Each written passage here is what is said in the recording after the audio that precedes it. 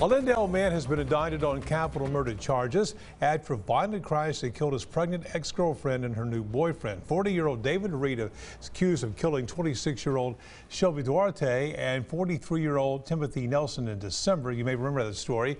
Reed rammed into the couple with his truck and then tried to blow himself up with a propane tank.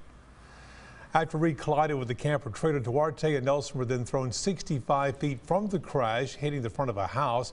Now, this was a scene from the crime scene in December. Now, you can see the house destroyed from the impact, and investigators taking a look at the area there. The warrant says Duarte left her ex-boyfriend after suffering several cases of reported abuse.